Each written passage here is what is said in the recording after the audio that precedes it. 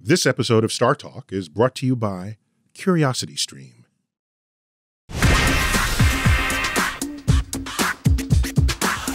This is Star Talk. I'm your host, Neil deGrasse Tyson, your personal astrophysicist. And on this edition of Star Talk, it's Office Hours, which is another version of Cosmic Queries. We're just calling it Office Hours because you can come in with any question at all on any subject.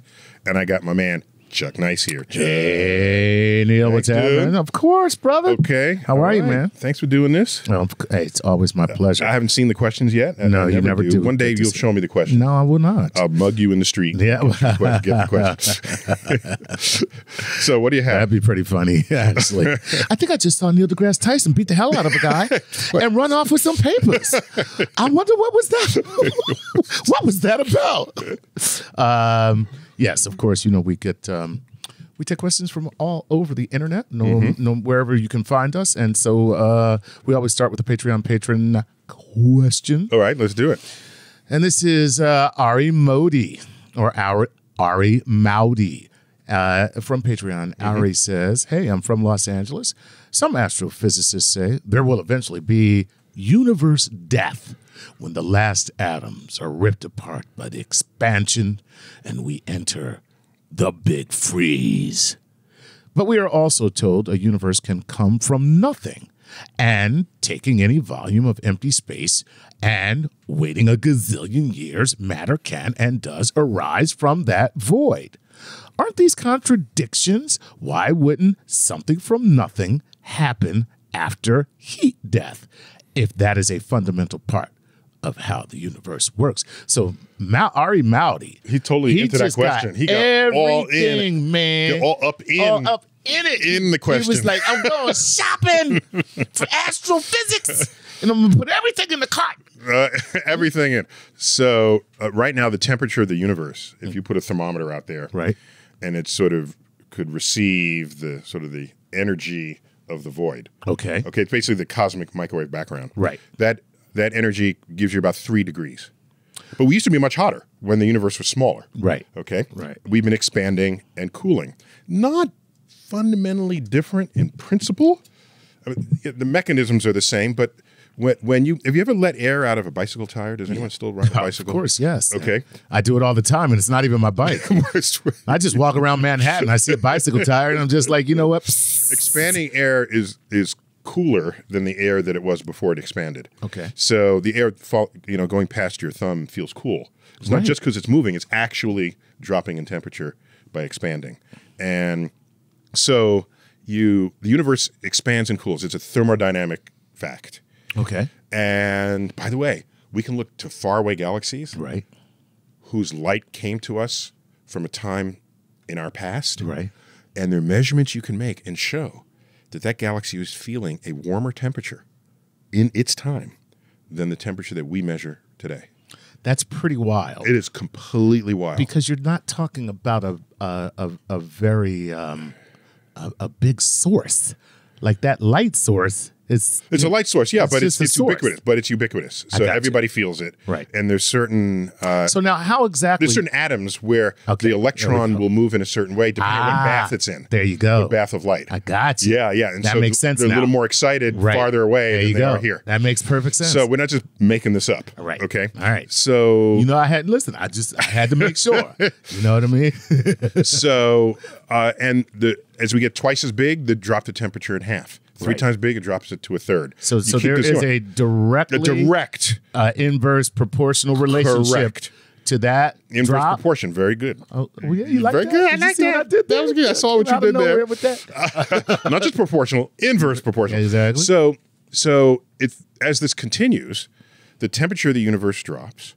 All stars will ultimately burn out as they shut off one by one Wow. in the night sky. Look at that. And as they shut off in the night sky, Yeah. um, you can ask, well, are we making new stars? Well, we are with the gas clouds that are still out there. Right. But then they make a star, and then that star dies. So the gas gets sort of trapped up in stars that die. All right. So then there's no more gas to make stars. Then the atoms themselves decay. And ultimately, in about 10 to the 30 years or so, which is a huge number, Right. huge number, the protons decay. The very structure of matter itself loses all integrity. Wow. And so the universe ultimately dies not with a bang, but with a whimper, Right. and not in fire, but in ice. It peters out. That's wow. After I said those poetic words, you say it peters out. Is that the best you got for me? That was the joke. okay. that was the whole joke. Um, so this this idea that you can get something from nothing, I just want to get, spend a minute on that, if- if, I can. Okay. So, um, if you start with nothing and then create something that has both positive and negative energy in it, Mm-hmm. all that matters is that the sum, you add them together and you get zero. Zero. That's it. Okay. So you can start with nothing yet have something if the total energy goes to zero. Right. So another way to think about that is, let's say you have a level field, Mm-hmm. and say I want to dig a hole. Okay. So I'm going to dig a hole and stack the dirt over on the left. Right. So I keep doing this. I can make a mountain as high as I want. Right. But you're gonna have a hole. I'm going to have a hole. Yeah, exactly. I'm going to have a hole. I got a hole. Right. I got a hole. There you go. So, um, so the, the, what we're not sure about is whether you create another universe within this universe that has expanded. Right. out of that void. Our best understanding of this multiverse hypothesis is that the universe that's created is not causally, what we say, causally connected to what's outside of it. So you could, in principle, have multiple universes popping up into existence. Right. But in the expansion and the edge of what that universe is, you have no way to interact with it. So, so there you have it. Wow. We're stuck in this one. We're stuck in this one, Yeah. and that's all there is to it. yeah, That's pretty wild. yeah. Man, that's a well. listen, he- he got his Yo, money's worth on that one. money's worth, bro. That's right. Mm-hmm. Yo, Ari, uh, that was a great question. Uh, took us took took wow. Took us to the edge of the to the universe. edge of the universe and back. Not only in space, Yes, but in time. Mm-hmm. Could you go to the edge of the universe without space and time? Actually, once Einstein put forth relativity, Right. where the fourth dimension is time, and people say, well, that's weird. Why is that? No, no one has ever been at a place unless it was at a time. No one has ever acknowledged a time unless they were at a place. Think about it. If I say to you, Chuck, I'll meet you tomorrow at 10 o'clock, what's your next question to me? What are we doing? No, that's not. okay, what's your question after that? Of course, where? Where? Where? I give you a time, you ask where. Right. Okay, I say, Chuck, I'll meet you tomorrow at the corner of 33rd and 3rd. when? When? We know intuitively that our path through life involves the juxtaposition of space and time. We know that intuitively. Wow. We just don't think of it in those terms. Right. Because they're measured by such different tools. A- Exactly. A, watch and, and a map. Right. Right. So, but in fact, they're conjoined. And Einstein formalized that statement in his um, theories of relativity. Amazing. That is great stuff. You got it. All right, let's move on to another question. Um, hey, how about Woody? Uh, it's clearly this is a Pixar, Disney Pixar uh, character who's just writing in. Uh, Woody would like to know: Woody. Do lasers and solar panels work together? We could design and build the components for specific purposes of wireless energy transfer at great distances, which frequency on the light spectrum would be best suited for this task. Then, how would you resolve the problem of a 5 watt laser being a dribble like Chuck at 3 a.m. after too few many 500 kilowatt laser? What? what the hell is this guy talking about? Uh, okay, I think I got. I think I got his point. So what he wants to do is, I have energy energy here, and I want to put it over there. Right. All right. So, by the way, that when you think about it, is kind of like what war is. Okay. What is a battle? a battle? I have is- energy here, and I want to put it over there. Right. That is kind of what the waging of war is all about. Mm-hmm. Right. I have a bow and arrow. I put energy in the arrow here, and then the arrow goes over there. There's a bullet, has energy. There's a bomb. There's a delivery mechanism. All thanks for the sound effects there, Chuck. Yeah, no worries. So, so I think they're what he wants to is it he? Yeah, the Yeah, Woody. I assume. yeah. What he wants to know is if I have laser energy over here, Right. and laser goes fast and it's very directed, can I just have a catcher's mitt somewhere where I want to deliver it, Right. and then use it there? and then use it and then use it as prin- energy. in principle, nothing stopping that. Right. Okay, except the curvature of Earth's surface, if you believe in a round Earth. Right. So you can't beam You can't beam, bend- beam light and bend it. Right. Okay. Uh, not on Earth. Unless you have a gravitational force that will bend it for you. Yes, that would work. So on a black hole, you try to send a beam of light, and it'll just curve and Right. go around the uh, the black hole itself. So, but on Earth and sort of normal gravity that we live in, no. No. So it has to be a line of sight delivery. Right.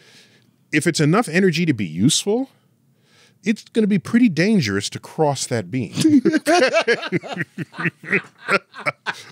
I'm just saying. I shouldn't be laughing. I know- I know. It's really serious. It's really a serious I mean, would be- but at the same time, If it's enough energy to do good stuff with it, right, You it's are- enough energy that'll do some real harm. would cut you in half just walking down the street. See, what's funny about that is What? if you're smart enough to make that happen, but you didn't even think it through. Completely. And yeah. so you actually do it, and like on the test run, you got the catcher's mitt there, Mm-hmm. and you're just like, oh my God, look at this. We've actually figured out a way to transfer energy over great distances. And oh, damn, we just killed somebody. or or a, a, a more a, a more tragic version of that story was let's celebrate and dance. And then they accidentally dance Dance in into the beam. of front of the beam. It kills the inventor Yeah. of the See, your version has poetic justice. right, right, that one. So um yeah so so that's an issue. So it's so insulated wires I mean, we were kind of already do that with do that with electricity. fiber optics. Electricity. Well, no, that's information we send by fiber Right, optics, not uh, Not energy itself. I- So you're right. Yes, Okay. it's a small amount of energy, but Yeah, it's not but enough it's to not. It's not enough to power anything. to power anything. Right, I Correct. got you, I got and what we learned here's just an interesting. You didn't ask this, but let me put this in the in the mix. Okay. Do you remember everyone's expectation of the future as imagined in the 1950s and 60s? Flying cars, Right. motorized uh, walkways. People were thinking that energy would be very accessible, basically, because it takes energy to fly cars. and to- but that's not what became accessible. Information Right. became accessible. Well, yeah. So we're living in an information, age, information and it costs you nothing energetically to send information. true. And as a as a as a communicative species, information is high. It's a highly valued commodity. So we send information around the world. At, at, you know, with no uh, with no effort. I was yes, it's a big effort, but no, um, the investment of energy that that requires is extremely low. True. So, uh, so back then, no one imagined a world where. Uh, so the movie 2001, A Space Odyssey, Yeah. The computer was this big thing in the center of the of the spaceship, and it was controlling everything. No one is imagining that you're going to carry a computer on your hip Right. plus entertainment on your. This was not because it's information Yeah. and it, distributed information is what that is. All right, so um, we do send energy, but we send it in wires, and they're insulated, so you don't touch the wire and get electrocuted. That's the electri- electricity version of a laser. Right. Right. Right. Yeah, here's the wire sending energy. Here, go grab it with two hands. No, you're not going to do that. Now, now go stand in some water. Hold this. Hold this and stand in a puddle. Okay. I just took out some insurance on you. Got time for a few more questions in this segment. Okay. All right. Uh, Zachary Sprodlin wants to know this. Given your vast knowledge of physics and, um, well, yes, your vast knowledge of phy- physics, what are your thoughts on a holographic universe? Okay, I've never heard anybody ask this question. This is okay. Yeah. Do you believe the universe to be holographic in nature?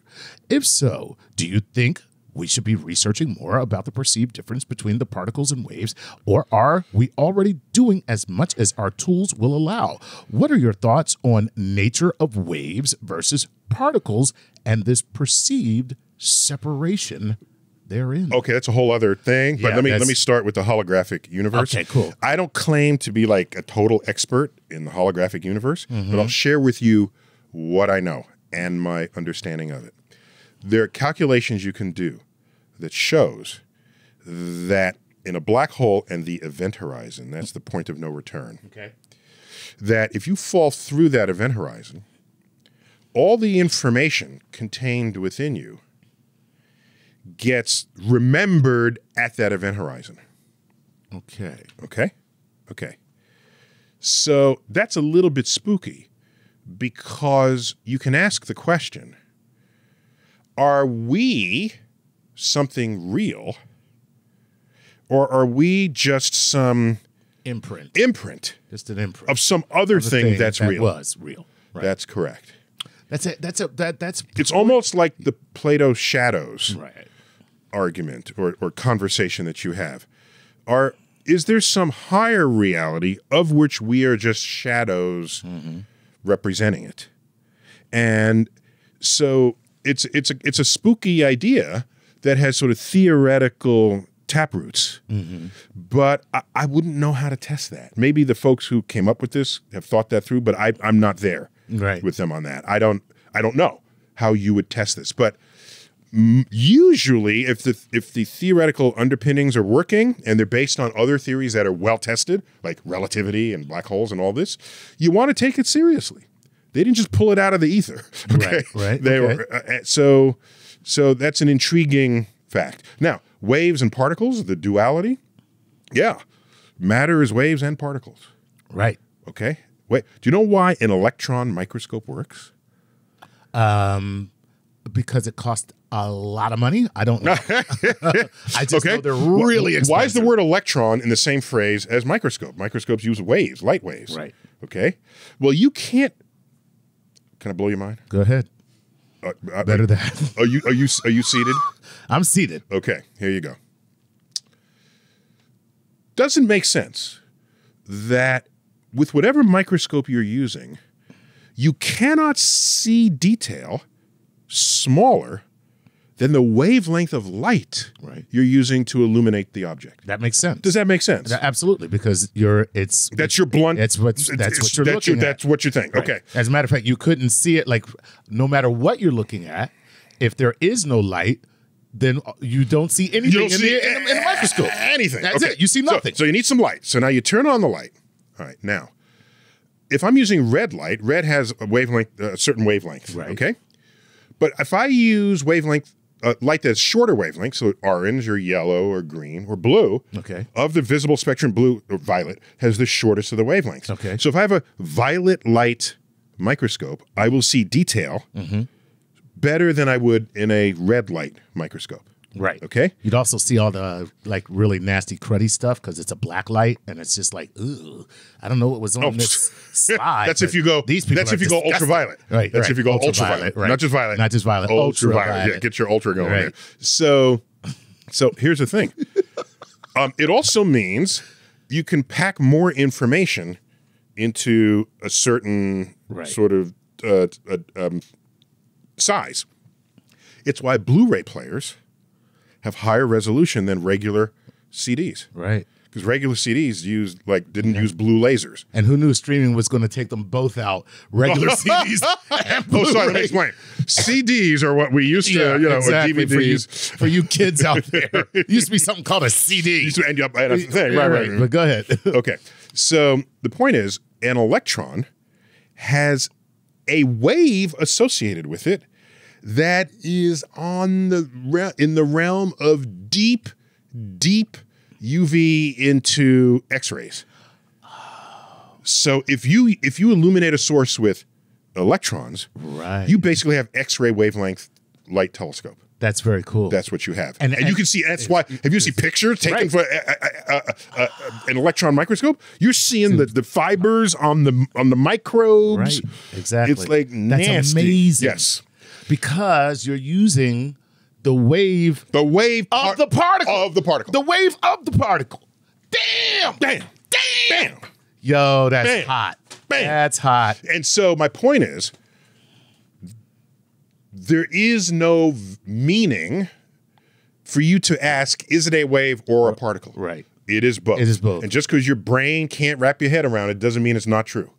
Wow. We don't have, when I say your brain, I mean our any- vocabulary, right. our awareness of a reality requires that we choose it as this or is it a that? Is it a book? Is it a chair? Is it a, are you a, a this or you're that? Right. Okay. Right. This is, we, we, we're forcing this in ourselves Mm-hmm. um, because we like compartmentalizing. This is but part of the gender thing. Are you a boy or are you a girl? Which is it? Okay. Well, I haven't decided. You haven't decided. Um, so this forcing is seems to be a deeply human thing. Right. But when it's, it's time to not nec- understand the universe, not universe- nature. Not not. Doesn't necessarily have to be nature. It's not cosmic nature. Yeah, okay. you got it. We got to take a break. All right. Okay, we're in uh, Neil deGrasse Tyson's office hours on Star Talk. We'll be back in a moment. Hey, if you want to learn more about our incredible universe, you have to check out Curiosity Stream's A Curious World series. Okay, that means the name of it is A Curious World and it comes in a series. It's not about baseball. They've done some incredible visualization of the formation of the universe. I mean, that's assuming that you and I are in the same universe. You'll be able to see what it looked like before there were planets and stars, what it looked like when the universe was mostly hydrogen and helium. Or should I say hydrogen and helium? Okay, that was unnecessary. Subscribe to Curiosity Stream right now to watch. It's just $2.99 per month, and for Star Talk fans, the first 31 days are completely free if you sign up at curiositystream.com slash StarTalk and use promo code StarTalk. You'll get unlimited access to the world's top documentaries and nonfiction series with Curiosity Stream. Go ahead, sign up now. We're back on Star Talk, Office Hours edition, which is a way of saying cosmic queries, but you can pull that query from wherever you want in the universe. We got Chuck here to mangle your name. Yes. as he Absolutely. you got a little better, Chuck. Uh, you know, little, little better. I want. I, I want to. I'm an educator. I want to give. I think it's part of the charm of the show, the fact that I can't read or, All right. or mention or that I can't figure out anybody's name. All right. So uh, let's move on to uh, Kyle Ryan Toth. How easy was that? Kyle Ryan. Talk three Hey, syllables. Three syllables. You got it all, hey, all hey, done. Kyle, man, thanks, bro. Oh, the Ryan is two syllables. yeah, sorry. Ryan is two. Yeah, Mm-hmm. not when I say it though. It's Ryan. Um, Ryan. Ryan. Ryan. Ryan. Come on down. It's time for dinner. Hey, Ryan.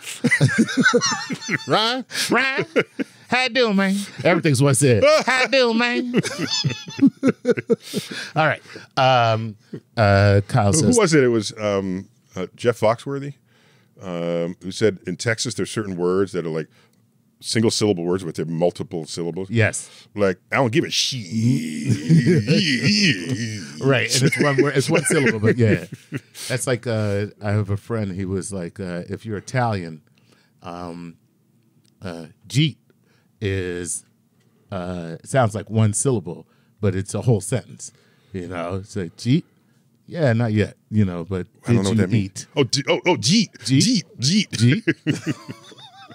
Why is that if you're Italian? Uh, I don't know. That's what he told me. So Oh, you mean Italian descendants speaking like within a Brooklyn accent? yeah, yeah. Hey, jeet. Hey, Jeet? Oh, yeah. Okay, Right, that's yeah, what you mean. I'm thinking. Not I'm, yet, I'm thinking pure Italian. I'm saying no, I'm not getting that. Oh, Yeah, right. yeah, no. Sorry. No, this would be right. uh, right. The diaspora Italian. I got one. Go ahead. No, I'm saying. Nah, yeah, and wait. Okay, that is. Do Yeah, you mean- know what I am saying? Right. Do you know what I am saying? No, I'm Yeah. saying. No, I'm saying. No, I'm saying. No, I'm Right. saying. Uh, and y'all mean. Y'all know what I mean? Yep. Yep. Yep. Yeah. There you go. Y'all mean? There you go. Yamin. Uh, all right, here we go. No, I'm saying. So, uh, Oh, to the rest of the show. Just I'm gonna say. come Oh, in. to give the answer. No, I'm saying. All right. all right, here we go. You know, you know what I'm saying? Here we go. How do you even spell it? N O M apostrophe S A I N. Know what I'm saying? Know what I'm saying? No, know what I'm saying? All right. Uh, How do you spell mm-hmm? That, that's unspellable. no, you. It's mm-hmm. Mm-hmm. And if you're a black woman, it's Oh, the hands got to get all in there. Mhm. That's the same thing. You just went a higher octave. Well, That's no, all. the pitch actually connotes the feeling behind it. hmm So there's the affirmation. hmm It's like, baby, you look good. hmm Okay. And then it's just like, uh, um, so uh, I, I I didn't go to work today. I'm sorry. Okay. See, yeah. So, so the pitch The carries pitch meaning, Carries meaning. even though you're saying exactly the same That thing. same thing, but it's it all in the pitch. You know what I mean? Okay, Um, that's good. I, lear- I learned something today. And then there's no, that's good. That's a that's a that's a you are lying through your. that's it. That's You're absolutely right. It's you are lying. right. Mm-hmm. Uh, better known as Negro, please. So there you go. Um, here we go. This is. Uh, I got a word where the pronunciation changes just by capitalizing the first letter. wait a minute. Go ahead. No, you'll get that later. Okay, go. Oh, what a tease! All right. Oh, well, okay. Here we go. Oh, you want the word? I'll tell you what. No, no, no. Let's Okay. make, make it a tease. We'll, we'll do it Af- after the after question. after, the break. question. after the next break. After okay. ooh, after the next break. Ooh, that's a real tease. That'll keep you coming Ooh, back. that- you got to stay here now. you are forced. you are forced to be here. hmm Mm-hmm. Okay, here we go. Imagine a planet orbiting close to a black hole Mm-hmm. and experiencing extreme time dilation. How would outgoing signals of electromagnetic communication be affected? Would we still receive such signals? Would they be distorted and or appear very slow paced? Yeah, no, yeah. It still goes at the speed of light. Right. If the planet is outside the event horizon, it's not trapped and it's in orbit. Yes, it is in a deep gravitational well. Right. There is very serious time dilation relative to anyone looking at them. Right. They will send out a signal and the energy of their light as it comes out will uh, it, it will continuously lose energy so that by the time that, not speed Not it'll speed. still come out the speed Just of light energy. but if it starts out at a high energy band of light Mm-hmm. by the time it gets out it will be a very low energy band of light Interesting. yeah so you're going to get very low uh, low energy See, so and that's counterintuitive to what you would think because you would think that it would lose speed, but you can't. Light can't not lose light, speed. not light. Light right. cannot lose speed. by the way a, a way to think about this is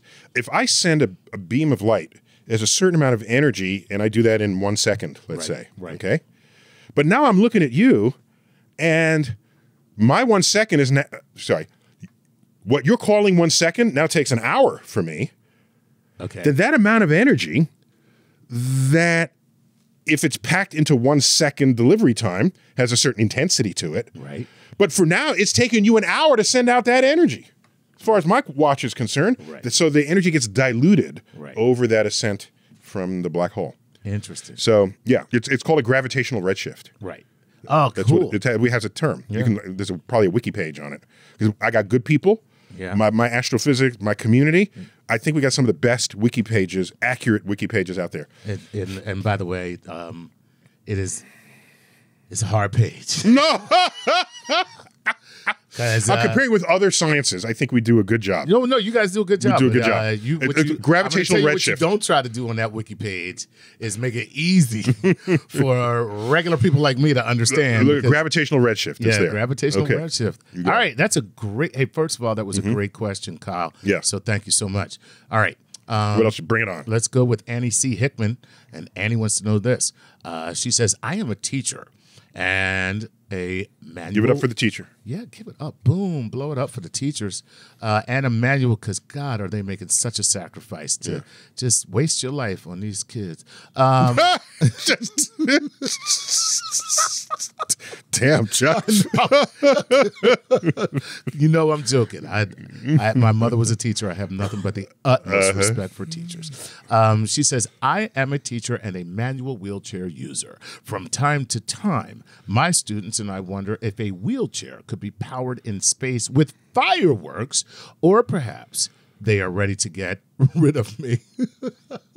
to send send her up Because they there. want to send her to space and, and, and put fireworks on a wheelchair, um, since fireworks are rockets. She's thinking about propulsion here. She is thinking about propulsion. Also, would having mobility issues on Earth be erased in space since there is no gravity? If you float around the space station, for example, aren't you using your legs uh, for the need to balance? And you know, that's a great question because people would think that in zero gravity, that your movements might do something in terms of uh, affecting the way you drift about in zero gravity. So what what is the answer there? So first, great question, and so I presume it means she has power. She has arm power, Arm power to propel to her propel wheels. her wheelchair. Right. So that's a key element of this. So first of all, in space, you don't need the wheelchair.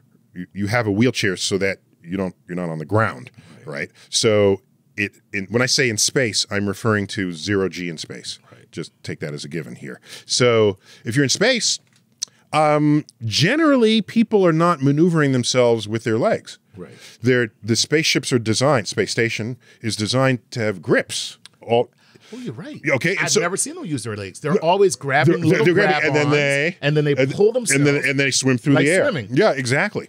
And so you don't want to go too fast because you have to stop somewhere at the other time, and you got to like be ready to stop. Mm-hmm. Right. So if you have full use of your arms and your arm muscles, uh, you do you'll be doing what every everybody else is doing on the on the space station. oh man, that's so cool. So now the difference is you won't be able to do some of the sort of acrobatics that they do to show you. So, so for example, one of them is they'll they'll start rotating and then they'll bring their knees up to their chest. You might be able to pull your own legs up if Right, you don't have use of your legs. You would just reach down and grab them. But otherwise, they're pulling their knees up and then they see that they spin faster. Right. And that's just have they're just having spinning fun. Right. Um, like when an ice skater brings their arms in, they spin faster. Right. If you bring your your extremities in, and you had a slight rotation before you have a faster rotation. Right. And in case you are not, you don't feel nausea enough for being in zero G, now you can just you can- spin right. and then you- Exactly. you, throw up And right on the paint the spot. walls. Paint the walls. Yeah, go ahead and paint the walls. yeah, if you're spinning while you throw up, then there's this Right. spiraling Oh, that's a beautiful effect. picture. It's a beautiful picture. so I don't think NASA. uh, So now, shows okay, so now yeah, so, so she's fine in space. and the rockets. Now, so here's the thing, because I'm thinking in my it's head, not about the chair. No, it's no, about, no. I'm, I'm, I'm she, so I'm talking about what, what she was saying. If you put rockets on a wheelchair, but on the wheels themselves, would you propel yourself through space in that chair, even though you don't need it, or would the rocket just spin the wheel in place? So, what'll happen is you're because the wheel is on an axle, mm-hmm. and so now you're putting something called torque Right. onto it. Torque is a force that causes something to rotate. Okay. I've always loved the word torque. Torque. It sounds It's, powerful. it's a badass It- it word. is, you Yeah. know? Yeah, give me some torque. Exactly. Plus, It's it, you know, the car folks all like Oh, torque they love too. that. They love you know? it. Yeah, 600 pounds of torque. Uh, You foot know, pounds. Foot pounds. Yeah, you. it needs a distance Needs and a distance thing. and a right, because it's a distance from the point of rotation.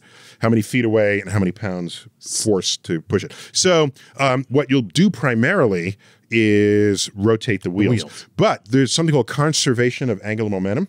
So, if you're in space and you wanted to keep your wheelchair, if you sent wheels rotating one direction, something has to compensate and rotate backwards. Okay, so you'll push the wheels that way, and you'll just You'll rotate- just uh, you'll you'll just so rotate the in two opposite of you direction. will be going in opposite directions, Correct. spinning around. Correct. So what you want is if there's a force operating on you, you want that this is inside baseball here. You want that line of force if you extended it to go through your center of mass. Right. Right. And that way your entire system moves it's just moving all at once. all at once. Everything's moving if you're once. off the center of mass, right. you're going to start that thing is- rotating. You're going to rotate. yeah, you have some movement forward, but a lot of that's going to go into your rotation, and you don't want you want to be stable out there. So there you go, Annie. You're, you, what you want to do is lose the wheelchair. Lose the wheelchair. All, you don't need it. together. You don't need it. You don't need it. Yeah. Yeah. Yeah. Very cool. There And she likes fireworks rather than just those jetpacks. So you can take like Roman candles or whatever, light it. And since that has a, a, a Roman candle is, is a intermittent, right? Uh, Right. So you can just adjust it Hold it where you want. where, where you want And let it pull you. And let it pull you. Yeah. Very cool. Very cool. God, I want to go to space now. God. Okay. And throw up all over everyone. all right. Do we have time for another one? Yeah, yeah. A couple more. Let's Couple do more? it. Okay, here we go. This is ooh, Jay DeGator. Jay DeGator wants to know this. What We'll go with that, Chuck. Yeah. Okay. hey man. Hey Jay, I'm sorry. we'll go with that. Yeah. So yeah. You know what I'm saying? Yeah. That's, yeah. it's the Gator. You know what I mean? No, yeah, I know what you mean. You know what I'm saying? All right, here we go. All right. Uh, what does the merging of black holes mean for the future of the universe? Could the universe eventually, if it does start a sort of contraction phase, be the victim of a collective hypermassive black hole? Could we be left with a singularity or a black hole containing all the information in the universe waiting for the next big bang to trigger? Or does the universe have more not so distant problems to worry about? Yeah, prioritize, Prioritize, your right. issues. So, so uh, black holes are not as voracious as lore leads us to believe. Right. There's a black hole in the center of our galaxy, Okay. and it's a, what we call a supermassive black hole. I forgot the I forgot the exact mass, hundreds of thousands of times the mass of the sun. Wow. So I'd last at 600,000, but it might be a million. I, I forgot the, the number, but it's large. Yeah. Okay. And the formation mechanism is still a little bit of a frontier in my field. You can merge two black holes if two galaxies collide. Right. And we've seen that happen. We, it's happening all the time, Right. every day, all the time. And so as they collide, the black holes will ultimately find each other Okay. and then they will merge. And then you have a black hole twice as big. Right. But the black hole's not reaching out. If you would not otherwise fallen into a black hole, Right. you're not going to now start falling into the black hole. We are safe. It's not a drain. We- it's it's not a toilet bowl drain. Right. so we're not we're not going to one day We're land not cosmic poop. right. Right. We're Well, some of us are. land in that. So, so no. In fact, in the very distant universe, black holes ultimately will evaporate, uh, according to Hawking radiation. It's a, and it's a really interesting phenomenon. so now, it, okay. Can I tell you what the phenomenon is? Go, please. Okay. Yeah. So a black hole has very strong gravity.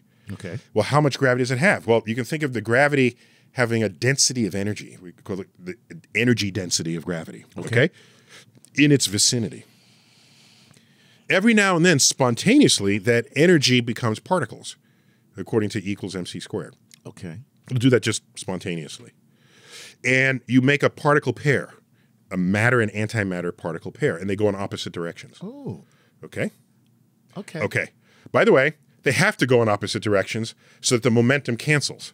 Because it started out as just a pocket of energy sitting there doing nothing. Right. You can't have two a particle just go in one direction and nothing canceling out that motion in the other. This Ooh, is like this- a bazooka. Yes, the recoil in the, other direction. Otherwise, the person Right. becomes that's the recoil. That's pretty funny. that would be fun. Note to the next design. exactly. that is awesome. Let me redesign that. Why do you guys have 25 bazooka shooters? Yeah. Because we got 25 shots. Yeah, so there's a there's a recoil of that to Right. send it forward. Gotcha. So the same with the spaceships, the rockets that take off. You you recoil at the back, all the the exhaust. So, what point was I making? you were talking about so the particle as it evaporates. Oh yeah. So, so what happens is, so uh, the energy density spontaneously makes a particle pair. One particle falls into the black hole, and the other escapes. Right. And, That takes mass away from the black hole. and that and there That is the evaporation of the- evaporation of the black Yes. hole. It's- it's are very slow, So this, but it's real. But this spontaneous particle, um, it- you know, basically It's called Hawking radiation. It's Hawking radiation. That's what it's called. So it's the dissemination of the particles that are opposites, and one going away, one going in. Yes. And then all of a sudden, if it keeps continuing, then It's the a- black hole's gone. It evaporates to nothing. to nothing. Correct. Okay. Yeah, yeah. We we got to take a break. We'll be back for our third and final segment. When we come back, you will learn what words pronunciation changes just by capitalizing the first letter. Yes. Oh yeah. In Neil deGrasse Tyson's office hours on Star Talk. This episode of Star Talk is brought to you by Curiosity Stream. We're back on Star Talk. Cosmic Queries edition, Neil deGrasse Tyson's office hours, where we take questions on anything. That doesn't have to be in a category. And they're coming at they're coming from everywhere. Everywhere. Chuck is helping me out here. Chuck, keep it going. All right, let's jump right. Oh, I have to- no, first you got to give the answer to the T's. Okay, I like words a lot. Okay. So what is this word that you can Uh, No, sorry. capitalize the Yeah. l- first letter Yeah. and change the meaning of the word? Completely. Yeah. Completely. The word is I feel like I'm on puzzle. the word is P O L I S H. Polish. Yeah. And then you capitalize it and it's Polish. Yeah. So one is what you do to shine something, and the other is Is your nationality. is the from nationality Poland. from, right. The, very nice. Right. That's Okay. it's that's a weird. It's weird. It is weird. It has nothing to do with this show. No. But I, I don't know why I, I So don't start a sentence with polish yes because it has to be capitalized. because it has to be capitalized. Polish your shoes. Right. Polish, my shoes. shoes. You racist son of a. All right. Yeah. Very cool. Very cool. Let's go to um, Fyodor Popov. Theodore. Fyodor? If it's F Y. Yes, Yeah, it is. Theodore. It's Fyodor. Yeah. Okay. And last name? Uh, Popov.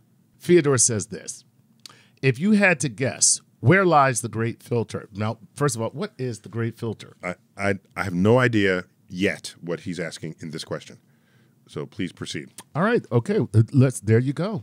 There you go. Let's move. No, no, let me hear the whole question. That's it. What? If you had to guess, where lies the great filter? I don't know what the great filter is. I mean, unless it's you know The great Brita. filter. If it's Brita, I'm good. Where lies the great filter The in my refrigerator? filter. filter in my water. The great filter. I have no understanding of that question, so we got to go to Wikipedia. maybe, maybe from that again, I'll be able to say something. something? Okay. All right.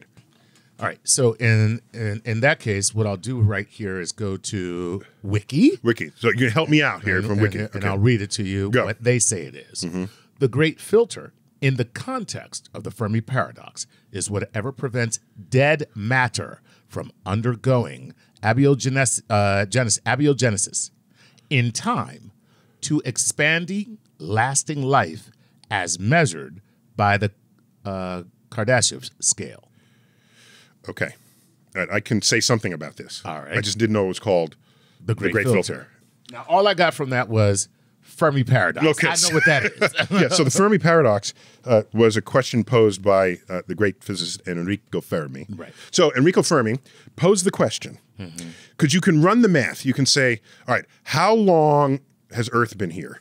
How long did it take life to form? How long did it take what we call intelligence to form? Now that we're intelligent, how long does it take to travel to another planet? Let's say we have a spaceship. Mm-hmm. all right. Ma- do- Is it a generational ship? Fine. So it takes 10 generations to get there. Then you become pilgrims. Set up tent. Now from there you go to two other planets. okay. From each of those two planets, they go to two to four more. From one to two to four to eight. So it grows exponentially. You can populate the entire galaxy with intelligence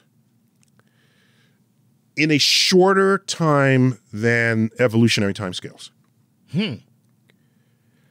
Okay, you can do it in like a million years Okay. or so. Right. Okay? Yes. and that's that's on an evolutionary. Uh, the dinosaurs went extinct 65 million years ago. exactly. So, That's a very short so time. very short, an and it's small scale. compared with the lifetime of a planet. Exactly. So, and especially the future of the universe. Right. So, if that's the case, why hasn't it happened yet? And where are the visitors trying to trying to populate this planet uh, that we're on? So it's the Fermi paradox. Where are they? Maybe they were already here, Maybe we are. there. and maybe we are them. Okay. You know. So there's some religions that are based on that. That God Really? is actually the aliens. Yeah. Uh, okay. Yeah, just That's right on. okay. All right. Hey, listen. so I don't judge. just by the fact that you said that, me too, judge. I don't judge how crazy people are. That's, that's what you said. That was implicit in your. so this dead matter. What they don't mean dead matter because that implies it was once alive. They mean inanimate matter. Inanimate matter evolving to become self-replicating life. So the question is, maybe that takes so long that it puts a damper on this whole the other process. on, on the all the other processes. Right. However, that happened really fast on Earth. Okay. We went from inanimate molecules to self-replicating life within a couple of hundred million years. Wow. And once you have life, life was there for billions of years. So that's not really that long. No, it isn't. Right, right. So the filter, I don't see that as the big filter. You know what I think the filter is? What? Whatever urge you have to colonize planets, Okay. And then all your descendants have that same urge, Right. there's going to be a point where there's a planet I want to colonize. Oh, but you want to colonize that same planet. So then what do we do? You're gonna uh, you're gonna have a blood feud. You're with your blood own feud family. with your own family. Right. Correct. And so it could be that the urge to want to expand is self-limiting because you will fight wars. cancel yourself you out. cancel yourself The out. The very urge that causes you to strike out and discover is the same urge that destroys you in the end. Correct. Wow. Right. And there's there are whole categories of these kinds of problems in life. For example, I don't know if it still happens if you lose a quarter in the between the base and the back of the seat in your car, Right. And you reach for it, Right. The act of reaching for it separates the two cushions more, and then it falls further in. See, I'm cheap. That whole seat's coming out. okay, I'm going to be honest. getting that corner. I have actually pulled a seat out to get to money that's falling. we got one minute left. Let's do lightning round. Go. All right, here we go. You know what? This is an education question, so let's do it. Do it. Uh, this is uh, Lightning round. Stephen Donham. He says, "Hey Neil, love your show. Listen all the time. My question is about Common Core math being taught in school. It seems like a waste of time, and kids have to go through all of these extra steps to get the right answer. When there were simpler ways to get the right answer when it comes to life and death and space, wouldn't it not be better to get the right answer the fastest possible way? Oh, good question. Very okay, good question. I'm not doing a lightning round on that question. Okay. It's too important. It is a very I'm going important. to end with my answer to that question. okay, so okay. let's, this is the end of the show, and that's why I, I'm doing deep dive on educational philosophies. Well, that's why I picked the in, question. in my recent months and Well, years. Uh, you're an education. You're an I- educator. a deep dive, and I'm looking at what people have said, what have worked, what hasn't, best practice, and I have come to conclude with regard to that question, okay. what matters more than the right answer Mm-hmm. is the right question. Interesting. and taking a cue from Isaac Asimov Uh-huh. in an essay he once wrote called The Relativity of Wrong. The relativity of wrong. Yes. Okay, know- so here you go. You're in elementary school, Uh huh. and I have a spelling bee. And I ask you to spell cat. And you spell it K A T. It's marked wrong. Right. You don't get any credit for that because the correct answer is C A T. But suppose instead you had spelled it X Q W. It's still marked wrong. And that's so much farther away than It's so much farther away than Right. KAT. In fact, you could argue that KAT is a better spelling than CAT. You know why? Because if you look up cat in the dictionary, CAT, the phonetic spelling is KAT. Correct. Okay? That's so, awesome. so- but you got it marked wrong. right. So this urge to get the right answer. Mm-hmm. Yes, I don't want to diminish the importance of right answers. That has value, but it has less value than you think it does. Mm-hmm. Because in exploration, you have no answers. You're on the precipice at the boundary between what is known and what is unknown, and you're taking a step into that unknown. And you don't know what's there. You don't even know what question to ask I know it's there. A but cat. but you're pro you're probing you're poking you're trying to figure out what question to ask and so and most questions don't even have, Have an answer. unambiguous right. answers Exactly. uh, can i give you an example Go ahead. okay what's the diameter of the sun ask me that What is the diameter of the sun? you look it up it'll say 864000 miles Okay. okay fine but in what wavelength of light did you make that measurement Okay. other wavelengths of light emerge from deeper in the SAR. Right. Okay? And if you're using X-rays, it's bigger. The corona emits X-rays. We found that out earlier in the show because of the different wavelengths. That's a different wavelength. So you have to specify. How high up does the atmosphere go? Earth's atmosphere. Because well, 62 miles, 100 kilometers.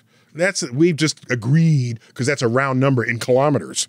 There's still air molecules above 62 miles. That's why we have to boost the Hubble telescope every now and then because air molecules are, are, are knocking it out of orbit. Okay? So there is no demarcation line. It fades until it blends with the inter with the interplanetary medium. So we like tidy answers, but most of science is not even about the answer. It's about the general understanding of what's going on, hmm. and then you take it from there. So no, Common Core math is a good thing.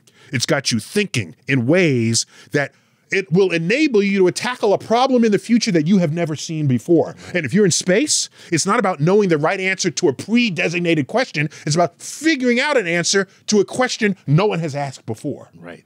Right. And so you need the tools and the methods and the power of inquiry to accomplish that. Wow.